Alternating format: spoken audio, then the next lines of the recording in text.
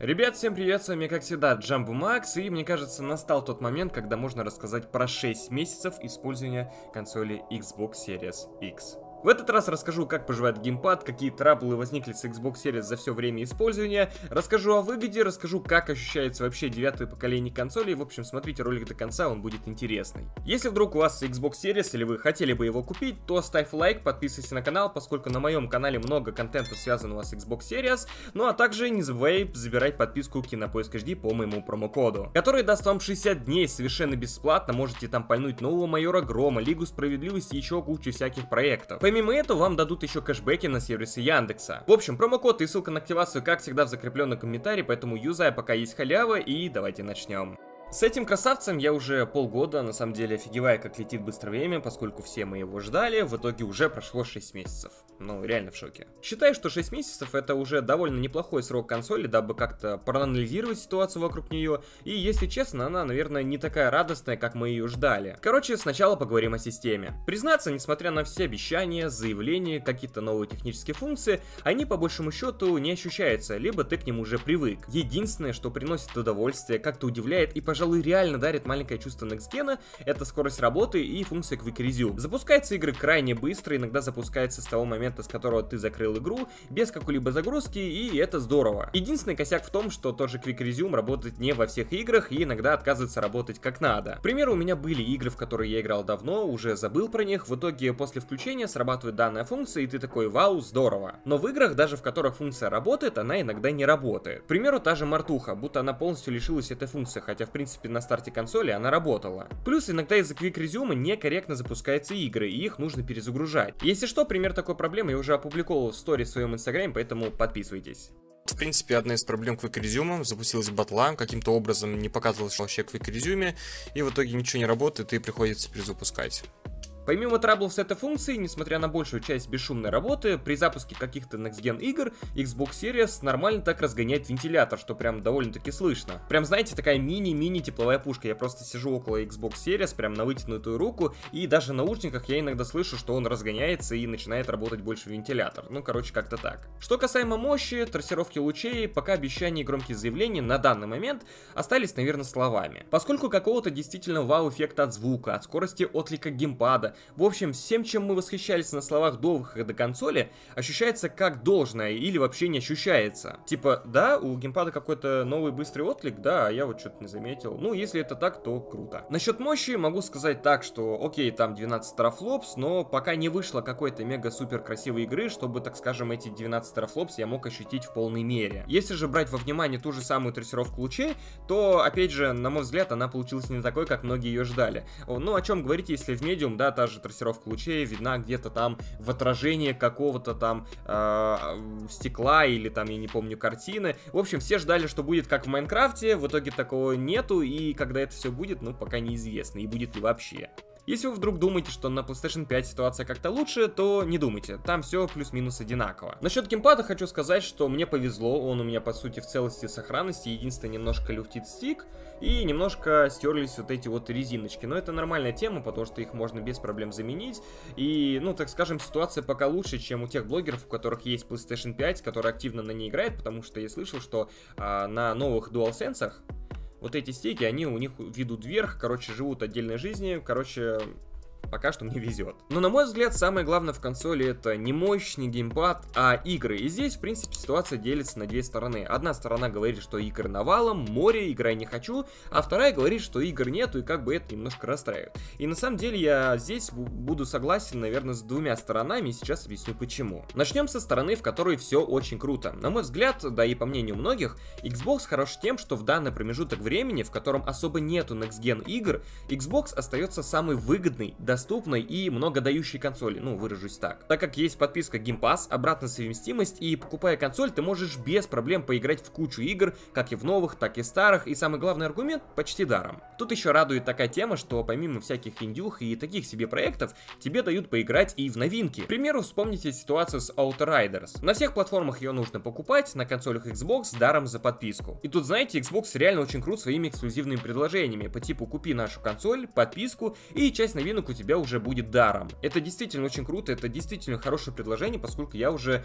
забыл, когда я последний раз покупал игры, кроме игр и Takes-Two, и Cyberpunk 2077. Те, кто говорят, что подписка Xbox Game Pass говно, неправы от слова вообще, потому что, опять же, там не только старые игры, но еще и новые, и список игр постоянно обновляется, и туда завозят новинки. Плюс еще туда попадут все эксклюзивы Microsoft в день релиза. Я понимаю, что может быть такое, что список вам не нравится, но вы просто можете тогда не покупать подписку. Все равно, как бы, в этой подписке столько проектов, что, ну, каждый найдет для себя что-то стоящее. И знаете, данную подписку, по сути, выгодно иметь даже тогда, когда ты играешь всего лишь пару игр. Купил эту подписку, получаешь там, не знаю, новые игры, играешь в старые, и в любом случае это выходит намного экономнее, нежели ты эти игры купил бы. Если же эту подписку начать сравнивать с PlayStation Plus Collection, то оно ни в какое сравнение не идет, потому что в PlayStation Plus Collection игры не меняются, не обновляются, туда не добавляются новые, и по сути та, ну, вот эта вот программа от PlayStation нужна только для тех, у кого не было PlayStation 4 и те, кто в эти игры не играл. То есть это совершенно разные подписки. И в том случае данная подписка нужна лишь тем, у кого просто голая консоль PlayStation 5,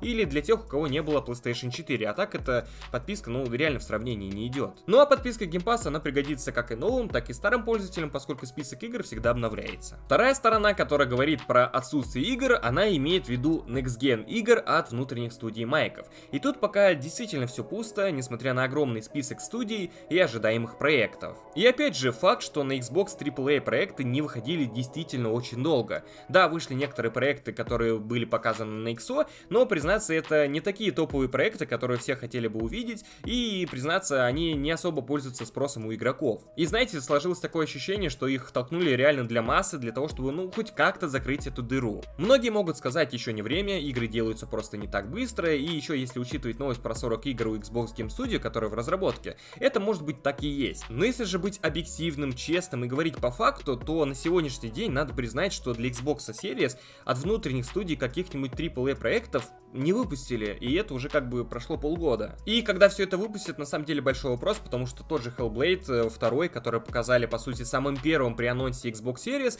фиг знает, когда выйдет, потому что он далек, очень далек от даты выхода. За Halo также получилось обидно, он, по сути, должен был быть первым экзом, и франшиза очень важна для Xbox, они даже, по сути, запустили маркетинговую кампанию в России, ну, с помощью энергетиков. В итоге дата релиза все еще неизвестна, и игра получилась долгостроем, и, как мы все знаем, надежда на нее уже возлагает все меньше. Но тут, знаете, у всей этой темы очень много проблем, и лучше уже более детально поговорить о ней после ее выхода. Так будет объективнее. Если сравнивать Xbox Series с поколением Xbox One, то как новое поколение, именно новая консоль, она уже не ощущается, и, наверное, не ощущалась. В консолях, по сути, уже давно начинается стираться консольное поколение, и все это воспринимается как просто апгрейд железа. Ну, по сути, он так и есть. Игры одни и те же, система одна и та же, единственный, так скажем, эксклюзивчик для новых консолей это анимированные заставки, но они, в принципе, погоды не делают. И единственное, что хоть как-то греет души, так это то, что эта консоль просто актуальнее и запустит все новые игры, выпущенные в ближайшие несколько лет. Но тут видите, на мой взгляд, если в этот период было выпущено хотя бы два AAA проекта под Next Gen,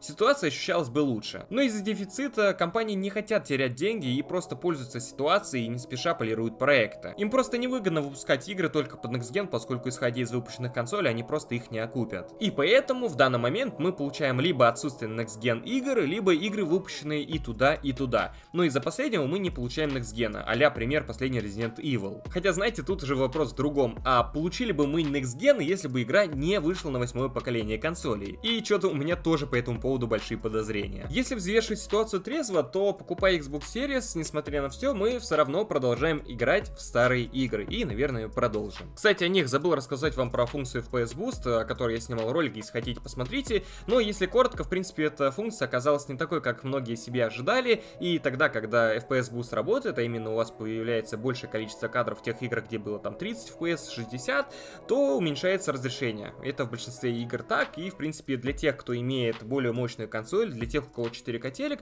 данная функция, ну, так скажем, такая себе. Единственный бум нас может ожидать на E3, который, возможно, придаст смысл и хоть как-то официально обнадежит новые консоли. Но пока что каких-то слухов, кроме возможного показа Старфилда, новые Forza Horizon и геймплея Halo слухов-то особо и нет. И такое ощущение, что все-таки все находится в стагнации. Кто консоль Xbox Series не купил, не расстраивайтесь, в принципе, играйте на чем играли, потому что купив Xbox Series, на данный момент вы получите лишь 4К, 60 FPS и будущую актуальность, и, пожалуй, все. Какого-то реального стимула для покупки Xbox Series в данный момент, ну, пока что не существует. Если сравнивать, опять же, в 9 и 8 поколение консолей, то хочу сказать, что сегодняшний Next Gen очень и очень скучен. Он будет красочен лишь для тех, кто раньше не играл или просто пропустил восьмое поколение консолей. Да, я понимаю, что опять же это все возможно из-за дефицита, но возможно он создан и искусственно, кто знает. Поскольку компаниям как раз таки выгодно немножко оттянуть время для полировки Next Gen проектов, ну а также просто найти отмазку в отсутствии Next Gen. В любом случае я доволен покупкой, Xbox остался моей основной платформой, работает как надо